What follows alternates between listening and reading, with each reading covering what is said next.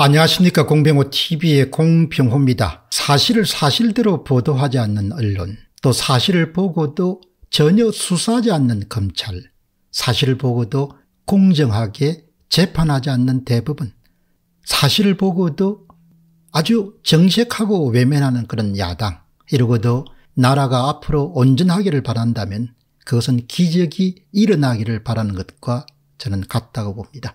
11월 12일에 실시된 파주시 재건표의 점검을 삼총사 가운데 이상한 배춧잎 사전투표에 대해서 현장에 직접 참석했던 사람들의 전문적이고 예리한 지적들이 속속 이어지고 있습니다. 이 가운데 도태우 변호사가 내놓은 보도자료는 그동안 다섯 차례 모두 다 현장에 참가한 도태우 변호사 나름의 판단을 담고 있습니다. 제목은 투표록에 기재되지 않는 제2, 제3의 배춘입 투표지는 투표소에 출연한 적이 없는 투표지입니다.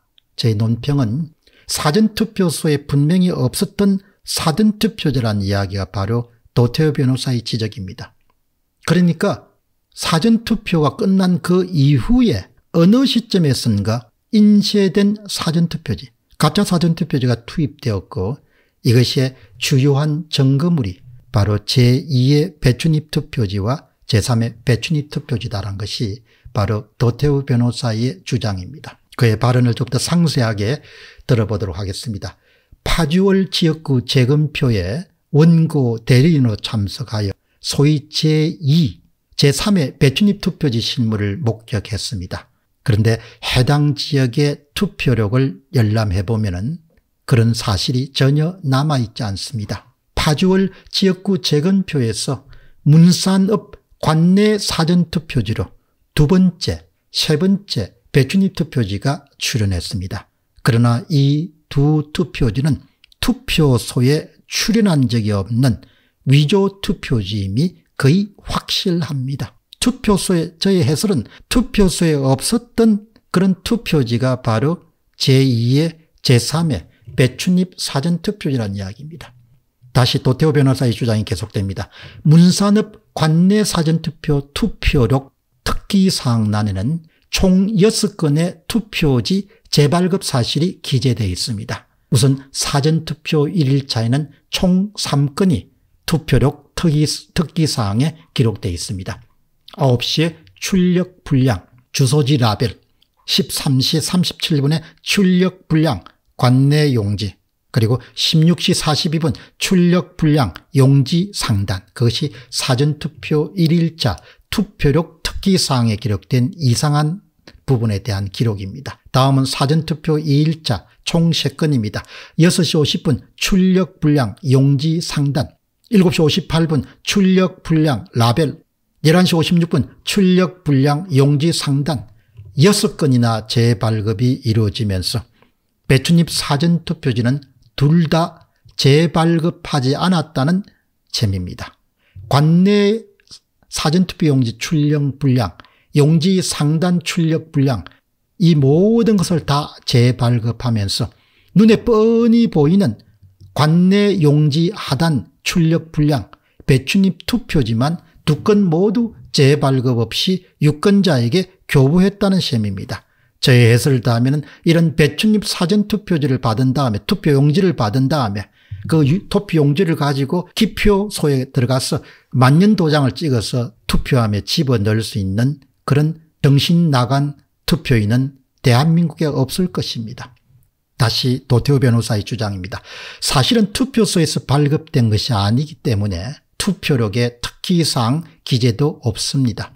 재발급되지도 않은 채 재검표 현장에 나타난 것이 분명합니다. 부정 투입 시점은 첫째 개표 전일 수도 있고 둘째 개표 이후에 증거 보존 정일 수도 있습니다. 셋째 심지어는 증거 보존 이후 재검표 이전일 가능성도 0이라고 하긴 어렵습니다. 그러나 분명한 것은 적어도 투표소에서 진정으로 발급되고 투표인이 투표한 표가 아니면 거의 확실하다고 볼 수 있습니다.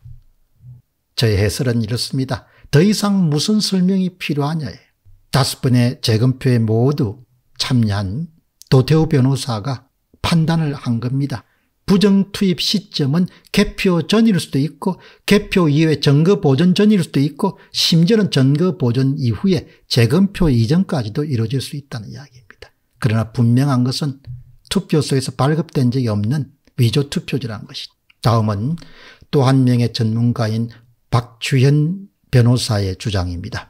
앞부분과 뒷부분을 모두 다 제거하고 박주현 변호사가 페이스북에 남긴 제2의 제3의 배춧잎 사전투표에 대한 부분만 제가 여러분들에게 설명드리도록 하겠습니다. 선거관리위원회는 인천 연수원에서 발견된 배춧잎 사전투표제에 대해서 비례 지역 인쇄를 하다 보니 겹쳐서 나온 현상이라는 말도 안 되는 궤변으로 엽기적인 투표제에 대해서 설명을 한 바가 있습니다.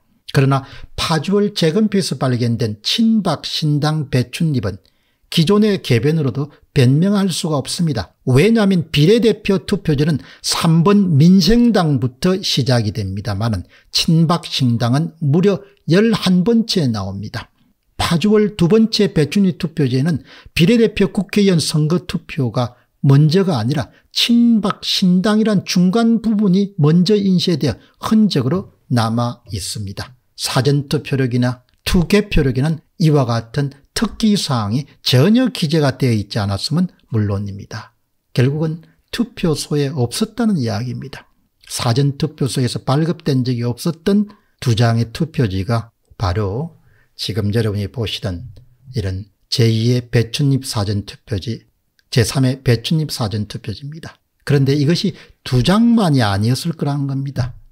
인쇄 전문가들은 이것이 인쇄되는 과정에서 수십 장이 찍힌다는 거죠. 그리고 점점 점점 그이 찢겨져서 붙어 있던 그런 비례대표 초록색 부분이 옅어지면서 나중에는 정상으로 돌아간다는 거죠. 그럼 나머지는 어디로 갔냐? 나머지는 한 장 한 장 검수하면서 다 빼서 재개했다는 거죠. 그러나 불행인지 다행인지 한쪽은 불행일 것이고 한쪽은 다행일 것인데 그것을 찾아내지 못하고 한두 장이 발견된 거라는 이야기입니다. 빙산의 일각이라는 것이죠. 배춘입 사전투표에 대한 견본이 속속 공개되고 있기 때문에 앞으로 인쇄 전문가 및 프린터 전문가들의 분석이 계속 나올 것으로 봅니다. 그런 분석을 기다리지 않더라도 분명한 것은 제2의 배춘입 사전투표지와 제3의 배춘입 사전투표지는 인천 연수월의 제1의 배춘입 사전투표지와 마찬가지로 사전투표소에서 없었고 개표소에서도 없었던 바로 위조 투표지라는 사실입니다. 공병호 TV의 공병호였습니다. 감사합니다.